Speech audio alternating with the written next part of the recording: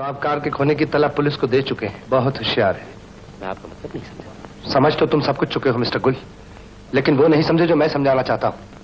नीना का कत्ल फरीदा के अगवा की कोशिश मुझ पर कतलाना हमला। ये सब कुछ गलतफहमी? पाकिस्तान में कॉमिक हीरोज की अगर बात की जाए तो नहायत चंद शख्सियात का नाम जहन में आता है जिनको बासानी गिना जा सकता है। लेकिन उन हीरोज में सबसे खुश शक्ल और खुशगुफ्तार अदाकार का नाम लिया जाए तो जा बजा सैयद कमाल का नाम जहन में घर कर लेता है। पाकिस्तानी राज कपूर के नाम से शोहरत हासिल करने वाले अदाकार सैयद कमाल पाकिस्तानी फ़िल्मों के पहले कॉमिक हीरो थे। सबक तो याद कर लूँगा मेम साहब लेकिन एक बात याद आई है। क्या? तेरे D A D Y daddy ने मेरा नाम टेलर मास्टर को दिलवाया था, पर सूट अभी तक सिलकर नहीं आए। ये क्या चक्कर है?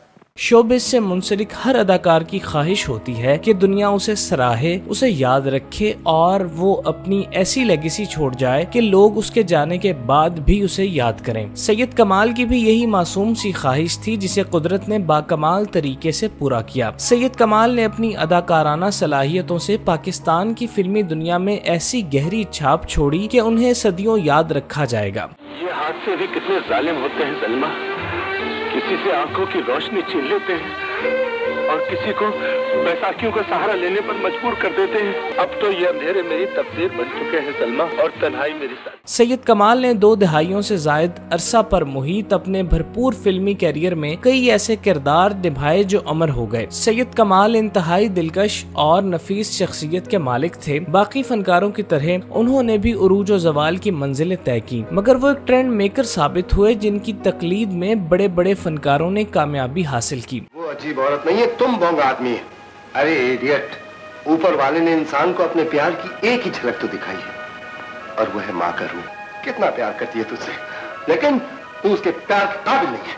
प्यार के काबिल नहीं। सैयद कमाल एक ही फ़िल्म में तीन हीरोइंस के हीरो होने का एजाज रखते हैं। इसके अलावा उन्हें एक ही कहानी के तसलसल पर मबनी तीन फ़िल्मों की सीरीज़ बनाने का भी एजाज हासिल है, जो उनसे पहले और बाद में कोई दूसरा न बना सका।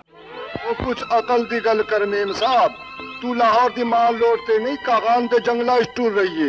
इतने सवारी कितने लबनी मैं की करा? हम्म।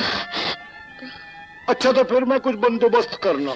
सैयद कमाल 27 अप्रैल 1937 को बरतानवी राज में उत्तर प्रदेश के शहर मेरूत में पैदा हुए। सैयद कमाल 19वीं सदी के मशहूर अफगान सिपा सलार सैयद मोहम्मद शाह की औलाद से थे, जिन्हें बरतानवी हुकूमत की मदद करने के एवज जाफिशा खान का लकब दिया गया था और सरधाना की नवाबी अता की गई। तेरी औकात का भी पता चल जाएगा वकील बाबू। मैं तुझे कचहरी में बुलवाऊँगा तुझ पर मुकदमा करूँगा और अपनी बहन भी तुझे से लूँगा हाँ। ये कौन होता है तुम्हें घर से निकालने वाला? बस बस मेम साहब मेरी तेरे भाई के हाथों बहुत बेइज्जती हो गई। अब मैं इस घर में नहीं रहूँगा हाँ। सैयद कमाल के मुतालिक एक नहायत ही अहम बात जो कि शायद बहुत कम लोग जानते हैं कि सैयद कमाल मशहूर भारतीय अदाकार नसीरुद्दीन शाह के कज़न है। बल्कि जब नसीरुद्दीन शाह पाकिस्तान आए तो सैयद कमाल ने एक टीवी इंटरव्यू में शिकवा किया कि वो उनसे मिले बगैर वापस चले गए। सैयद कमाल की वालिदा का ताल्लुक सर सैयद अहमद खान के खानदान से था। सैयद कमाल बचपन में बड़ी दिलचस्प और मासूम सोच के मालिक थे। वो बड़े होकर डाकू बनना चाहते थे, क्योंकि उन्होंने रॉबिन हुड के मुतालिक पढ़ रखा था कि वो अमीरों की दौलत लूट कर गरीबों में तकसीम करता है। इसके बाद आपको बादशाह बनने का शौक पैदा हुआ, लेकिन वो भी किसी तौर मुमकिन न था। लिहाजा आपने सोचा कि कुछ ऐसा किया जाए जो सब पर हावी हो और तमाम ख्वाहिशें और हसरतें पूरी हो जाएँ। लिहाजा आपने फनकार बनने का फैसला किया। लेकिन अभी ऐसा नहीं होगा सर ऐसा नहीं होगा हम क्राइस्ट का कसम, बड़ा मेहनत करके अक्खा गैंग का फ़ोटो चोरी चोरी उतारा है। एक दफ़ा ये फ़ोटो को देखो प्लीज़ सर देखो ना। सैयद कमाल एक पढ़ी लिखी फैमिली से ताल्लुक रखते थे। उनके वालिदैन ने शर्त आयद की कि पहले तुम तालीम मुकम्मल करो, फिर ज़िंदगी में जो भी करना चाहो कर लेना। सैयद कमाल ने इब्तदाई तालीम अपने आबाई इलाके से हासिल की, जिसके बाद उन्होंने आगरा यूनिवर्सिटी से ग्रेजुएशन की डिग्री हासिल की। लेकिन इसी दौरान वो फिल्मी दुनिया में भी कदम रख चुके थे। सैयद कमाल की शक्ल भारतीय अदाकार राज कपूर से मिलती थी जिस पर उन्हें बहुत तारीफें सुनने को मिलती थी। लोगों को उनकी अदाकारी में भी राज कपूर ही नज़र आते थे इसलिए उन पर राज कपूर के नाम की छाप लग चुकी थी। सुर है मेम साहब सुर। तानसेन गाता था तो गवैये खिंचाते थे। हम गाते हैं तो हसीन खिंचाते हैं इस तरह। मैं इस दुपट्टे के बारे में पूछ रही हूँ। ये मेरा मालूम होता है। होगा लेकिन है बड़ा आशिक मिजाज। सैयद कमाल की मुलाकात मशहूर फ़िल्म साज सोहराब मोदी से हुई, जिन्होंने सैयद कमाल को अपनी फ़िल्म मदर इंडिया में मुतारिफ करवाया। इसके बाद सैयद कमाल की राज कपूर से मुलाकात भी हुई, जिन्होंने सैयद कमाल को एक फ़िल्म भी ऑफ़र की, लेकिन वो फ़िल्म किसी वजह से बन न सकी। सैयद कमाल ने मजमुई तौर पर चार बॉलीवुड फ़िल्मों में काम किया। उन्नीस में हिंदू मुस्लिम फसादात की वजह से कत्लो गारत शुरू हो गई, जिसके पेश नज़र सैयद कमाल ने पाकिस्तान हिजरत करने का फैसला किया और लॉलीवुड इंडस्ट्री के लिए अपनी खिदमत पेश करने का इरादा किया। पाकिस्तान फ़िल्म इंडस्ट्री में उन्हें मारूफ फ़िल्म साज शबाब किरानवी ने मुतारिफ करवाया। उन्नीस सौ सत्तावन में बतौर कॉमिक हीरो सैयद कमाल की मुनफरद फ़िल्म ठंडी सड़क रिलीज़ हुई। बरोज ईद उल फित्र रिलीज़ होने वाली फ़िल्म ठंडी सड़क नई नवेली फ़िल्म इंडस्ट्री में एक मुनफरद इजाफा था। इस फ़िल्म में मुसरत नजीर ने सैयद कमाल की हीरोइन का किरदार निभाया था, जबकि दीगर अदाकारों में जरीफ, दिलजीत मिर्ज़ा और निघत सुल्ताना भी शामिल थे। दिलचस्प तौर पर इस फ़िल्म को तो ज़्यादा कामयाबी नहीं मिल सकी लेकिन सैयद कमाल को पहचान ज़रूर मिल गई और वो पाकिस्तान के पहले कॉमेडी हीरो बनकर सामने आए जिन्होंने साठ के अशरे में खूब शोहरत समेटी। ए भाई क्या है? मुझे यहाँ कोई लंबा माल कमाने वाली नौकरी मिल जाएगी? नौकरी? हाँ। और लंबा माल? हाँ मुझे किसी ऐसे काम पर लगा दो कि मैं रातों रात अमीर बन जाऊँ। और सुबह दौलत लेकर अपने गाँव वापस चला जाऊँ। उन्नीस के साल ही सैयद कमाल की एक सुपरहिट फ़िल्म मुराद रिलीज़ हुई जिसमें यास्मीन ने उनकी हीरोइन का किरदार निभाया। फ़िल्म में इलियास कश्मीरी और अजमल कैदो मनफी किरदारों में नज़र आए। बॉक्स ऑफ़िस पर फ़िल्म ने ज़बरदस्त सिल्वर जुबली मुकम्मल की। सैयद कमाल को फिल्मी दुनिया में शोहरत हासिल करने के लिए ज़्यादा तगोदो नहीं करना पड़ी। उसकी वजह उनका खुशनुमा चेहरा और जानदार अदाकारी थी।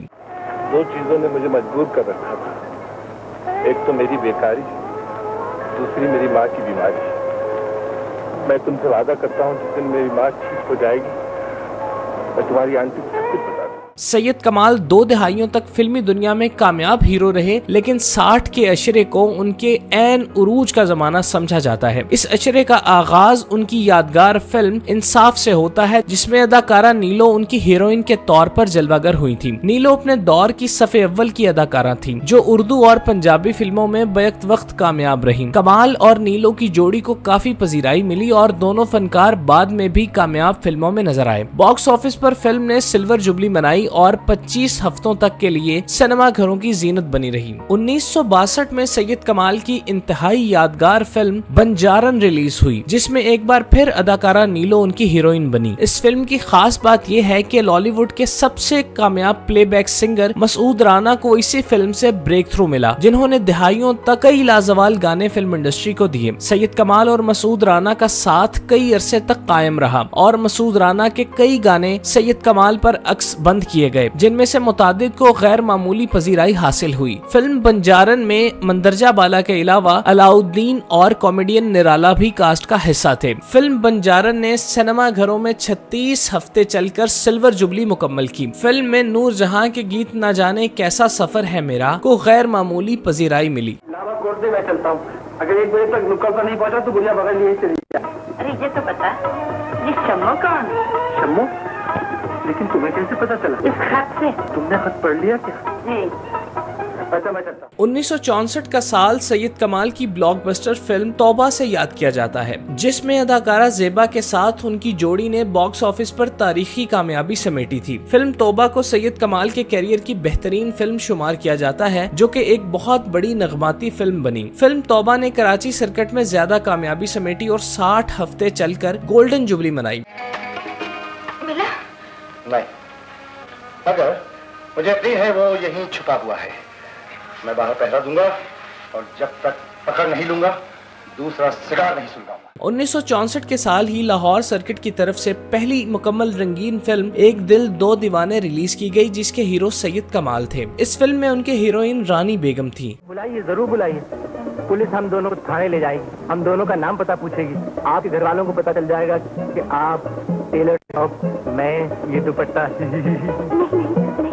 सैयद कमाल और रानी बेगम ने मुताद फ़िल्मों में इकट्ठे काम किया जो कि बॉक्स ऑफ़िस पर कामयाब रही। सैयद कमाल और रानी बेगम फ़िल्मों में काम करते करते जाती ज़िंदगी में भी करीब आ गए थे। बॉलीवुड में काफ़ी अरसा तक दोनों की मोहब्बत का शोहरा रहा लेकिन मोहब्बत की ये दास्तान भी अधूरी रह गई क्योंकि दोनों आपस में शादी करने में नाकाम रहे। देखिए ना प्यारे तो मेरा नाम है। देखिए। प्यारे। मेरी सूरत क्या देख रही है? प्यारा हूँ ना? फ़िल्म एक दिल दो दीवाने में अहमद रुश्ती और एरिन परवीन के गाए हुए गीत अजनबी रास्ते अजनबी हमसफर कमाल और रानी पर फिल्माया गया। 1968 का साल कमाल की ब्लॉकबस्टर फ़िल्म बहन भाई से याद किया जाता है। ये फ़िल्म अपने दौर की इंतहाई आला मैार की फ़िल्म थी जिसका हर शोभा मिसाली था। एच ई एन हैन हैन माने विलायती मुर्गी। हैन मायने विलायती मुर्गी नहीं सिर्फ़ मुर्गी। ठीक है। हैन माने सिर्फ़ मुर्गी। फ़िल्म बहन भाई एक बहुत बड़ी नगमाती फ़िल्म थी जिसकी कहानी एक माँ और उसके पाँच बच्चों के गिर्द घूमती है जो बचपन में बिछड़ जाते हैं लेकिन एक बिग ड्रामा के बाद अख्ताम पर फिर से एक हो जाते हैं। मैं क्यों तलाश करूँ जी? ये मेम साहब तलाश करेगी। और जब तक मेरी बहन नहीं मिलेगी मैं यहाँ से नहीं जाऊँगा। हाँ ज़मीन पर नहीं सोफे पर बैठो। बैठने का क्या है जी? कहीं भी बैठ जाऊँ। फ़िल्म में कमाल नदीम बेग और दीबा थे जबकि दीगर कास्ट में अदाकारा रानी हुसना एजाज दुरानी असलम परवेज और इलियास कश्मीरी शामिल थे। फ़िक्र न कर खाला वो अस्पताल में रहेगी। मैं भी वहीं जा रहा हूँ। वहाँ बड़े मज़े हैं खाने पीने का भी आराम है हर चीज़ मुफ़्त में मिलती है। किसी और से ना कहियो तुझे भी वहीं बुलवा लूँगा। एक चार पाई का तेरे लिए भी इंतज़ाम कर लूँगा। फ़िल्म में अहमद रुश्ती के गाए हुए गीत hello hello mister Abdul Gani को बहुत पसंद किया गया जिसे कमाल और अदाकारा हुसना पर फिल्माया गया था। उन्नीस सौ उनहत्तर के साल सैयद कमाल के करियर की सबसे बड़ी फ़िल्म नई लैला नया मजनू रिलीज़ हुई थी जिसमें वो अदाकारा नसीम खान के हीरो बने थे। क्या मतलब? मतलब ये कि जिस तरह हीरे की पहचान जौहरी को होती है इसी तरह मजनू की पहचान लैला को ये सारी गालियाँ आज ही ने खत्म कर दी। हम लोग तो फिर भी मिलते रहेंगे। मसरूफ है किसी के साथ। जिस तरह आप मसरूफ हैं मेरे ये फ़िल्म भी एक नगमाती फ़िल्म थी जिसमें रिकॉर्ड 10 गाने शामिल किए गए। फ़िल्म में आलिया बेगम ने सानवी हीरोइन का किरदार निभाया जबकि दीगर फनकारों में इलियास कश्मीरी असद बुखारी और कॉमेडियन लहरी कास्ट का हिस्सा थे। फ़िल्म नई लैला नया मजनू कमाल के कैरियर की पहली प्लेटिनम जुबली फ़िल्म थी जो कि डेढ़ साल तक सिनेमा घरों की जीनत बनी रही। यार तू अम्मी के गुस्से को नहीं जानता वो बनी के सूद की तरह चढ़ता ही रहता है चढ़ता ही रहता है। पहले मारेंगी फिर घर से निकालेंगे फिर आग कर देंगी। आप कर देंगी तो हम लोग गरीब हो जाएँगे। उन्हें किसी तरकीब से अपने यार के होटल में बुला ले। छोड़ो यार। अबे चल ना यार इस फ़िल्म के कमोबेश तमाम गीत सैयद कमाल पर फिल्माए गए जिनमें से अहमद रुश्ती का गाया हुआ गीत तू है नई लैला इम्तियाजी हैसियत रखता है। सत्तर के अशरे में भी सैयद कमाल अपनी पूरी आबोताब से चमकते रहे। इस अशरे में उन्हें देखते हुए दूसरे कॉमेडियन भी बतौर हीरो फ़िल्मों में जलवागर होना शुरू हुए जिनमें रंगीला और मुनव्वर जरीफ बहुत कामयाब हुए, जबकि बाद में अली एजाज और नन्ना की जोड़ी ने तारीखी अरूज देखा। बाद में इसी ट्रेंड को भारत में भी कॉपी करने की कोशिश की गई और कॉमेडियंस बतौर हीरो फ़िल्म में जलवागर होने लगे। लेकिन इस रुझान को भारत से ज़्यादा पाकिस्तान में पजीराई हासिल हुई। सत्तर के अशरे में कमाल की एक ही कहानी पर मबनी तीन फ़िल्मों की सीरीज़ रिलीज़ हुई थी, जिसमें वो तीन अदाकाराओं, नीलो, निशो और नजमा के हीरो बने, जो कि फ़िल्म में उनकी बीवियाँ थीं, जबकि फ़िल्म में इशरत चौधरी उनकी गर्लफ्रेंड के रूप में शामिल की गई सैयद कमाल को ये एजाज हासिल है की वो तीन फ़िल्मों की सीरीज़ में काम करने वाले पहले हीरो थे जबकि तीन हीरोइंस के साथ हीरो होने का एजाज भी हासिल है। मैं पंजा मुरबिया का मालिक हाँ। मैं गर्मी खा के पिंड छ आया। मैं ना ना समझो। खांदा पींदा झट हाँ। बहुत बहुत शुक्रिया। और हाथ पर रख। मैं कुड़िया हाथ नहीं मिला उस्ताद उन्होंने क्या दुनिया ना पैदा करना है तो कुड़िया को बच के रवि. इस सीरीज़ में पहली फ़िल्म जट कुड़िया तो डरदा थी जो कि 1976 में रिलीज़ हुई। दूसरी अज दिया कुड़िया 1977 और कल दे मुंडे 1978 में रिलीज़ हुई। 1980 में सैयद कमाल के करियर की इकलौती डायमंड जुबली फ़िल्म हम दोनों रिलीज़ हुई। फ़िल्म आयना के बाद कराची सर्किट पर ये सबसे बड़ी फ़िल्म थी जो कि 166 हफ्तों के लिए सिनेमा घरों की जीनत बनी रही। आप यकीन क्यों नहीं करते सर? अगर हम लोग पाँच मिनट पहले उधर पहुँच जाता तो वो बदमाश लोग स्मगलर लोग गिरफ़्तार होकर इधर लाइन में खड़ा होता इस मालिक। ये ठीक कहते हैं सर। ऐसा लगता है पुलिस के महकमे में कोई लीकेज है। इस फ़िल्म में नदीम बेग ने मरकजी किरदार निभाया जबकि सैयद कमाल स्पोर्टिंग रोल में नज़र आए और सायका शबनम और निमी भी फ़िल्म का हिस्सा थीं। हमने स्कॉटलैंड यार्ड में ट्रेनिंग लिया है। जुर्म का इकरार कराने का हमको और तरीका भी आता है। हमको उल्टा लटका तो हमारे मुँह से राज खुद ब खुद बाहर निकल आएगा। आइडिया गंदा आइडिया है। उल्टा लटकाएगा उल्टी आएगी।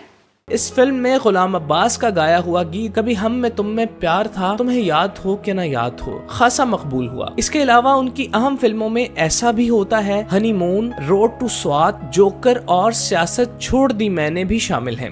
कल दस बुरा तो नहीं मनने का दस पुत्र। ए कुड़ी तेरे सिर सुआ पावेगी। ना बाबा मेरे को ड्यूटियाँ नहीं होंगी ए कुड़ी तो मैंने माँ ही मुंडा लगी है। नाले मुंडा भी चंगा नहीं जिद हंस के गल पई कर दी सी। सैयद कमाल की गैर मामूली सलाहियतों ने सबको हैरान कर दिया। वो कुछ देर तक टीवी शोज़ भी होस्ट करते रहे और इसके साथ रेडियो पर भी काम किया। सैयद कमाल की शख्सियत की और भी जहते हैं। वो बतौर राइटर, प्रोड्यूसर और डायरेक्टर भी कामयाब रहे। अलावा अज़ीज़ सैयद कमाल ने 1985 में होने वाले गैर जमाती इंतबात में भी हिस्सा लिया, जिसमें वो कामयाब नहीं हो सके। सैयद कमाल चूँकि बुनियादी तौर पर एक दर्द दिल रखने वाले इंसान थे तो वो सियासत में कदम रख कर अवामी फलाह बहबूद के लिए काम करना चाहते थे लेकिन उनका ये आइडिया काम ना आ सका सैयद कमाल को अपने कैरियर में तीन निगार और चार बेस्ट एक्टर अवार्ड से नवाजा गया ਤੁਸੀਂ ਉਸਤਾਦ ਉਹਨਾਂ ਨੂੰ ਤਾਂ ਨਹੀਂ ਵੇਖਿਆ ਉਹ ਮੇਰੇ ਵੱਲ ਕੀ ਤੱਕ ਰਹੀ ਹੋ ਸਾਡਾ ਵੀ ਤੁਹਾਡੇ ਤੇ ਕੋਈ ਹੱਕ ਹੈ ਮੈਨੂੰ ਅੱਜ ਤੁਹਾਡੀ ਨੀਤਾਂ ਕੁਝ ਠੀਕ ਨਹੀਂ ਲੱਗ ਰਹੀਆਂ ਮੈਂ ਚੱਲਿਆ ਵਾਂ ਅਸੀਂ ਕੀ ਕਰੀਏ ਤੁਸੀਂ ਇਹ ਤੁੰਬਾ ਵਜਾਓ ते अपना दिल परचाओ सैयद कमाल ने अपनी तर्ज का अछूता काम सरंजाम दिया जिसका बाकी पाकिस्तानी अदाकारों में बिल्कुल रिवाज नहीं। उन्होंने अपनी दास्तान जीस्त यानी ऑटोबायोग्राफी बनवान दास्तान कमाल लिखी जिसमें उन्होंने अपनी ज़िंदगी के पन्हा पहलुओं को उजागर किया। मैं जानता हूँ फरीदा लेकिन यकीन जानो अगर तुम्हारे डैडी लंदन में होते तो कहीं ना कहीं ज़रूर मिल जाते। एक बार तुमने कहा था कि तुम्हारे डैडी के कोई दोस्त कुरैशी साहब भी थे? जी हाँ। उन्हीं कुरैशी साहब के एक दोस्त पेरिस में रहते हैं। हो सकता है उनसे को पता चल जाए। सैयद कमाल की शादी जीनी कमाल नामी खातून से हुई, जिससे अल्लाह ने उन्हें तीन बेटियों समेत एक बेटे गालिब कमाल से नवाजा। गालिब कमाल सैयद कमाल के हमराह भी काम कर चुके हैं, जिनमें पीटीवी का एक मशहूर ड्रामा कशकोल है, जिसमें सैयद कमाल एक मालदार ताजर होते हैं, और उनका बेटा गालिब कमाल नशे की इल्लत में फंस जाता है। गालिब कमाल एक मुद्दत से मीडिया इंडस्ट्री से मुंसलिक हैं, लेकिन कोई खातिर खा कामयाबी नहीं समेट सके। अलबत्ता पिछले कुछ अरसे में एक निजी टीवी पर शो होस्ट करते नज़र आए। सैयद कमाल एक सुस्त रो बीमारी के बायस नहीं हो गए जो उनकी मौत का बायस बना। गालिबन उस बेचारी के अटैची में वज़न ज़्यादा हो गया होगा। इसलिए उस बेचारी ने अपने कागजात आपके अटैची में रख दिए हम्म? आपको कैसे मालूम हुआ? देखिए बाजोत बिला वजह की हमदर्दी कितनी तकलीफ़ दे बन जाती है। वो लड़की गिरफ्तार सैयद कमाल यकम अक्टूबर 2009 में बहत्तर साल की उम्र में शहर कराची में आसूदा खाक हुए उनके जनाजे में शोबिस शख्सियात समेत बहुत से मद्दाहों ने शिरकत की अल्लाह ताला उनकी मगफिरत फरमाए आमीन ऐसी काम ते मुलाजिमा ਕੰਨ ਖੋਲ ਕੇ ਸੁਣ ਲੈ ਮੈਂ ਉਸ ਮੁਸਟੰਡੇ ਦੇ ਕਾਰ ਤੈਨੂੰ ਕੱਲਾ ਨਹੀਂ ਜਾਣ ਦਿਆਂਗਾ ਮੈਨੂੰ ਵੀ ਉਹ ਚੰਗਾ ਨਹੀਂ ਲੱਗਦਾ ਉਹ ਕੀ ਗੱਲਾਂ ਪਈ ਕਰਨੀ ਹੈ ਮੈਨੂੰ ਪਸੀਨਾ ਆਉਣ ਲੱਗ ਪਿਆ ਗੱਭਰੂ ਨੌਜਵਾਨ ਹੈ ਉਹ ਕੀ ਬਕਵਾਸ ਕਰਨੀ ਹੈ ਮੈਂ ਤੇਰੇ ਨਾਲ ਨਹੀਂ ਜਾਣਾ